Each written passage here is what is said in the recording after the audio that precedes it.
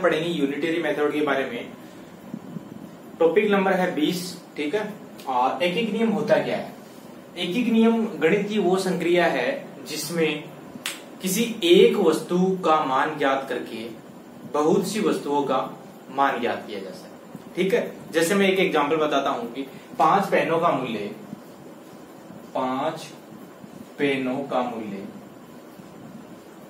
कितने रुपए है? बीस रुपए है।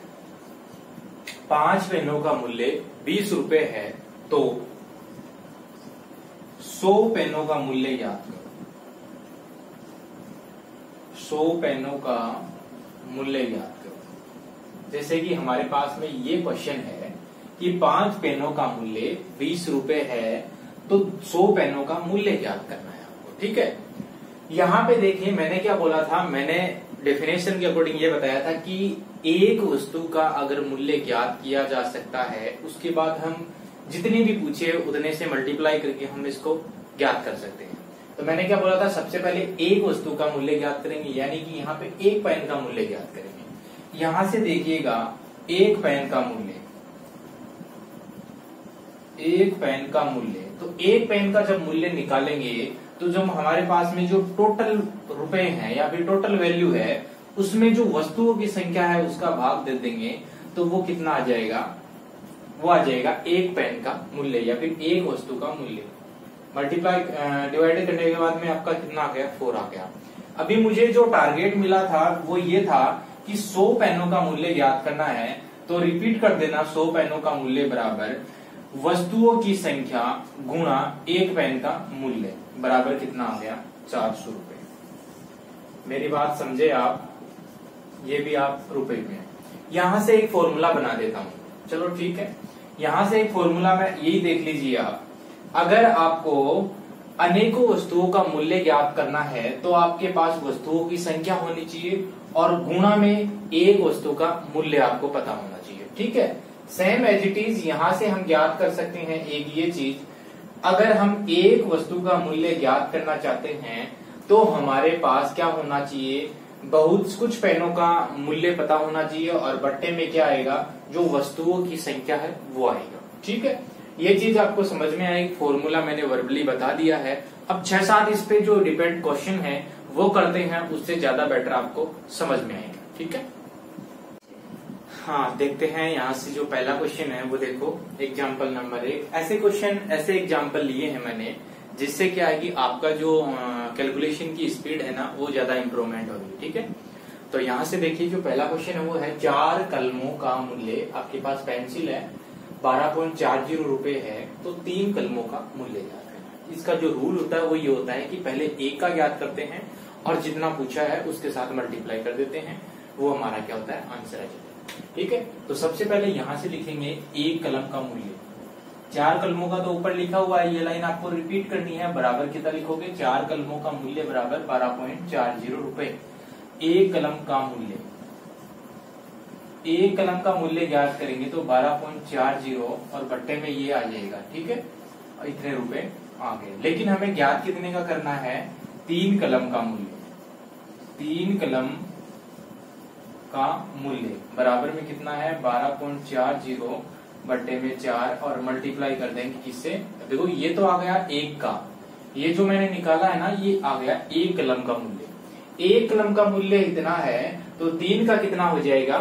तीन से गुणा कर देंगे, ठीक है? अब इसमें देंगे भाग। अब भाग देना अगर आपको आता है तो ठीक है, वरना देखो मैं आपको बताता हूँ। ये बारह है, वो नीचे चार है, चार थी ये बारह पॉइंट का पॉइंट आ जाएगा और चार एकम चार।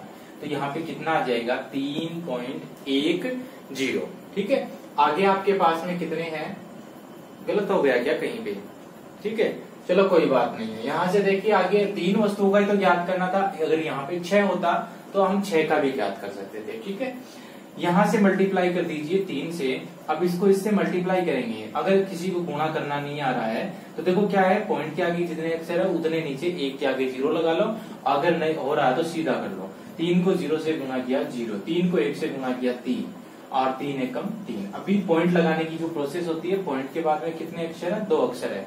तो राइट साइड से या इकाई के अंक से एक और दो, और यहाँ पे पॉइंट आ जाएगा। तीन पॉइंट सॉरी तीन को तीन से गुणा करेंगे, नौ आएगा ना? ये गलती हो गई। तो आपके पास तीन कलमों का जो मूल्य है, वो कितना आ जाएगा? नौ पॉइंट तीन, ज़ीरो रुपये अगर आपको इसको प्रूव करना है तो प्रूव करना है तो आप प्रूव भी कर सकते हो कि भाई ये अपना क्वेश्चन सही है या फिर गलत है। देखो, अगर मैं इसमें एक पेन का मूल्य और जोड़ दूँगा तो ये कितने पेन का मूल्य हो जाएगा? क्योंकि ये तीन कलम का मूल्य तो आपके पास कितना है? नौ पॉइंट तीन ज़ीरो। और एक कलम का ये मूल्य और जोड़ दू तो ये कितने कलम का मूल्य हो जाएगा? चार कलम का हो जाएगा, क्योंकि तीन का तो ये है एक का ये हो जाएगा। और चार कलम का मूल्य मेरे को दे रखा है बारह पॉइंट चार ज़ीरो। अगर इतना आ जाता है तो मेरा क्वेश्चन सही है। तो देखो नौ पॉइंट तीन ज़ीरो तो मेरा है तीन कलम का मूल्य। और एक कलम का मूल्य मेरे पास आया है कितना? तीन पॉइंट एक ज़ीरो। तीन पॉइंट एक ज़ीरो। जोड़ो इनको। ये चार हो गए और नौ के बाद दस, ग्यारह और ये बारह। यानी ये तीन का तो ये था, एक कलम का मूल्य ये था तो टोटल कितना हो गया ये? नीचे वाला चार कलम का। और वो का वो मेरा ये था। इसका मतलब क्वेश्चन यहाँ पे सही होगा।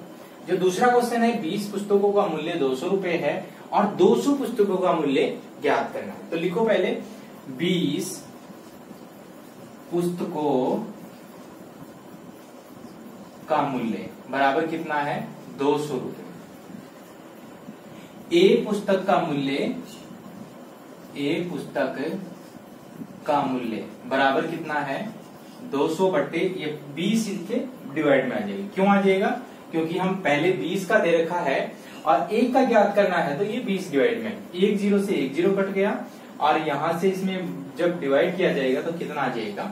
दस रुपए आ जाएगा यानी कि एक पुस्तक का मूल्य आपके पास कितना रुपए आ गया? दस रुपए आ गया। और हमें ज्ञात कितने का करना है? 200 पुस्तकों का मूल्य। तो सीधा लिख दो। 200 पुस्तकों का मूल्य। तो बच्चा, क्या होगा यहाँ से?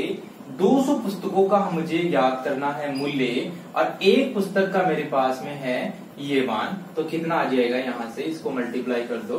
दो हज़ार रुपये समझ में आया नहीं आया? 20 पुस्तकों का मूल्य दो सौ रुपये है। एक पुस्तक का निकाला तो इसको इसमें डिवाइड कर दिया तो दस रुपये आ गया। एक पुस्तक का मूल्य दस रुपये आ गया, और सेम इसी प्रकार से 200 पुस्तकों को याद करना है तो एक पुस्तक का मूल्य जो था उसे मल्टीप्लाई किया और ये आ गया 2000 ठीक है? तीन चार क्वेश्चन और देखते हैं। आगे बढ़ते हैं और अगला क्वेश्चन देखते हैं क्वेश्चन नंबर थर्ड एक दर्जन किलो का मूल्य छत्तीस रुपये है तो तीन किलो का मूल्य ज्ञात करना है। ठीक है? सेम टू सेम वही प्रोसेस है। सबसे पहले आपको लिखना है एक दर्जन किलो का मूल्य। देखो, एक दर्जन बराबर कितना होता है बच्चा? बारह इकाई होती है। यानी कि एक दर्जन में आपका कितना आता है, कितनी क्वांटिटी होती है? बारह। जैसे मैं आपको ये कह दूँ कि आपको एक मार्केट से पेन लेकर आने हैं, एक दर्जन पेन लेके आने ठीक है? तो जो आपको दुकानदार है, वो कितने पेन देगा? वो एक दर्जन बराबर, यानी कि बारह पेन देगा। यानी कि एक दर्जन में क्वांटिटी में कितने पेन आएँगे? बारह पेन आएँगे, ठीक है? आपसे कोई कह दे कि एक दर्जन कैले लेकर आने हैं तो उसमें बारह पीस का होना ज़रूरी है, ठीक है? आगे चलते हैं। एक दर्जन बराबर कितना हो गया? बारह इकाई हो गया। और यहाँ पे है, यानी कि ये क्या दे रखा है? बारह इकाई का मूल्य। या फिर मैं ऐसे कह सकता हूँ, बारह किलो का मूल्य दे रखा है। बारह किलो का मूल्य। कितना दे रखा है? छत्तीस रुपये ओके? यहाँ से एक केले का ज्ञात करता हूँ। एक केले का मूल्य। बराबर कितना हो जाएगा? छत्तीस बट्टे बारह। तो यहाँ से कितना आ जाएगा? बारह दिए छत्तीस रुपये ठीक है? अब यहाँ से मुझे ज्ञात क्या करना था? मुझे ज्ञात करना था तीन किलो का मूल्य। तो लिखिए, तीन किलो का मूल्य। तीन किलो का मूल्य ज्ञात करना तो एक केले का कितना आया है? तीन। और कितने का ज्ञात करना है? तीन का। तो तीन से मल्टीप्लाई। तीन दिए नौ रुपए। आई बात समझ में? यहाँ से चलते हैं, दस मीटर तार का जो मूल्य है वो आठ सौ रुपये है। तो सबसे पहले यहाँ से एक मीटर का ज्ञात करते हैं। तो कितना आ जाता है? आठ सौ बट्टे दस। दस मीटर तार का मूल्य आठ सौ रुपये उसके बाद लिखना है एक मीटर तार का मूल्य बराबर कितना आ जाएगा? आठ सौ बट्टे दस। यानी कि यहाँ से कितना आ गया? अस्सी रुपये आ गया। ठीक है? अस्सी रुपए आ गया ना? उसके बाद हमें क्या करना है? हमें ज्ञात कितने का करना है? अठारह मीटर तार का मूल्य। अठारह मीटर तार का मूल्य। बराबर एक मीटर का आया है मेरा अस्सी रुपए और अठारह का ज्ञात करना है तो अठारह से गुणा करता हूँ। ठीक है? तो इसको जब गुणा किया जाता है तो कितना आता है? अठारह गुणा में अस्सी। ठीक है? ज़ीरो और ज़ीरो। आठ आठ कितने हो गए? चौसठ। ये छह, आठ एक आठ और छह कितने हो गए? चौदह। ज़ीरो चार चार एक। यानी कि कितना रुपए आ जाएगा? चौदह सौ चालीस रुपए। अब देखो, सीधा करने का तरीका बताता हूँ आपको। आठ आठ कितने होते हैं? इस ज़ीरो को भूल जाओ। आठ आठ कितने होते हैं? चौसठ का चार, फिर आठ एकम आठ, सेंस कितने बच गए थे? छह तो आठ और छह कितने हो गए? चौदह। एक ज़ीरो बच गया ना? ये ज़ीरो यहाँ पे आ गया। ठीक है? ये आपकी जो हैबिट में बना हुआ था, इसलिए मैंने आपको ये करके दिखाया। और आप ऐसे भी कर सकते हो। जैसे आपके पास कोई संख्या है, यही ले लेता हूँ। अठारह गुणा आठ हज़ार है। इसको गुणा करना है। अब ऐसे लिख के करोगे तो देखो बच्चा टाइम लगेगा, ठीक है? तो यहाँ से सीधा गुणा करो। आठ तीन ज़ीरो को भूल जाओ, इस आठ को इससे गुणा करो। आठ आठ कितने हो गए? चौसठ। आठ को एक से गुणा किया, आठ एक आठ रिमाइंडर कितना बच रहा था? छह। यानी सेंस बच रहा था छह। तो आठ छह कितने हो गए? चौदह। अभी कितने, क्या बच रहा था? मेरे पास तीन ज़ीरो बच रहे थे ना तो ये तीन ज़ीरो ठोक दो यहाँ पे। तो कितना आ गया? ये आंसर आ गया। यहाँ पे आज के क्वेश्चन का जो आंसर है, वो कितना है दो क्वेश्चन और देखते हैं और वीडियो को समाप्त करते हैं। चलिए वीडियो को बढ़ाते हैं आगे और करते हैं जो हमारे लास्ट क्वेश्चन बचे हुए हैं, दो। और ये दो और क्वेश्चन आपने कर लिए ना तो आपको ऐसा फील होगा कि हाँ हमें जो एक एक नियम है यूनिटेरी मेथड है वो काफ़ी ज़्यादा समझ में आ गया, ठीक है? यहाँ से देखते हैं पाँच नंबर क्वेश्चन। आपको काफ़ी ज़्यादा दिक्कत हुई होगी इसमें। एक मजदूर तीस दिनों में दो सौ चालीस रुपये कमाता है तो एक पखवाड़े में वह कितना कमाएगा, ठीक है? तो सबसे पहले मैं आपको बता दूँ कि एक पखवाड़ा एक पखवाड़ा बराबर कितने दिन होते हैं? पंद्रह दिन होते हैं। या अगर एक सप्ताह की बात आ जाए कि एक सप्ताह में कितना कमाएगा तो एक सप्ताह में कितने दिन होते हैं? सात दिन होते हैं, ठीक है? लेकिन बात हो रही है यहाँ पे पखवाड़े की तो एक पखवाड़े में पंद्रह दिन होते हैं। क्वेश्चन यहीं पे हल हो गया। तो सबसे पहले पहले तीस दिनों का करेंगे कि तीस दिनों में कितने रुपए कमाता है वो? दो सौ चालीस रुपए। तो एक दिन में आप पूरी लैंग्वेज लिख लेना, एक दिन में कितना कमाएगा? बराबर दो सौ चालीस बटे तीस, एक ज़ीरो से एक ज़ीरो और तीन आठ। यानी कि कितना रुपए कमा रहा है? आठ रुपए। हमें ज्ञात करना है एक पखवाड़ा, यानी कि पंद्रह दिन में। पंद्रह डेज़ में कितना कमाएगा वो? आठ गुणा पंद्रह। पंद्रह आठ कितना होता है? देखो, नहीं आता है ना, गुणा करना। आठ पंजे चालीस। आठ एकम आठ, और यहाँ पे कितना हुआ था? आठ पंजे चालीस हुआ था ना? आठ एकम आठ और चार कितना हो गया? बारह। ठीक है? समझ में आया गया यहाँ तक? ठीक है, आगे चलते हैं। चार पेन तथा दो पेंसिलों का जो मूल्य है, वो आपका कितना है? बीस रुपए है। ठीक है? उसके बाद में आपको क्या दे रखा है? एक मिनट क्वेश्चन कहाँ पे गया? हाँ। उसके बाद है दो, दस पेन और आठ पेंसिलों का जो मूल्य है, वो क्या होगा? ठीक है? तो यहाँ पे जो क्वेश्चन मैंने हाईलाइट किया है, वो क्या है? अथवा लगा है। अथवा का मतलब है कि चार पेन का मूल्य भी बीस रुपए है और दो पेंसिल का मूल्य भी बीस रुपए है। और आगे क्वेश्चन में क्या बोल रहा है? तो दस पेन और आठ पेंसिल का मूल्य ज्ञात करना है। इसका मतलब क्या है? कि पहले आपको ज्ञात करना है यहाँ पे पेन का मूल्य और यहाँ से एक पेंसिल का मूल्य। उसके बाद यहाँ पे दस पेन का मूल्य याद करना है और आठ पेंसिल का मूल्य याद करना है। और दोनों को ऐड कर देना है, जोड़ कर देना है, ठीक है? और वो जोड़ देने के बाद में वो आपका क्या हो जाएगा? आंसर हो जाएगा। तो सबसे पहले करते हैं, देखो, यहाँ पे मैं मिटा देता हूँ एक बार। आपने लिख लिया होगा, उम्मीद है आपने लिख लिया होगा। तो सबसे पहले हम निकालेंगे क्या? एक पेन का मूल्य। चार पेन का मूल्य तो मेरे पास कितना है? चार पेन का मूल्य तो मेरे पास है बीस रुपए। यहाँ से एक पेन का मूल्य कितना आ जाएगा बच्चा? बीस बटे चार बराबर कितना आ जाएगा? पाँच रुपया। और हमें किस, कितने पेन का पूछा है? दस पेन का मूल्य पूछा है। तो दस पेन का मूल्य कितना है? दस पेन का मूल्य हो जाएगा दस गुणा एक पेन का मूल्य। तो कितना हो गया? पचास रुपए। ओके?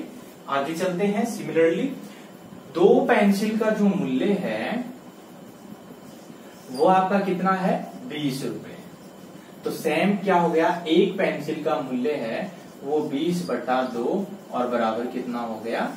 दस रुपए। लेकिन हमें ज्ञात कितने का करना है? आठ पेंसिल्स का मूल्य, ठीक है? तो आठ पेंसिल का मूल्य कितना हो जाएगा? दस गुना आठ और बराबर कितना हो गया? अस्सी रुपए। ओके?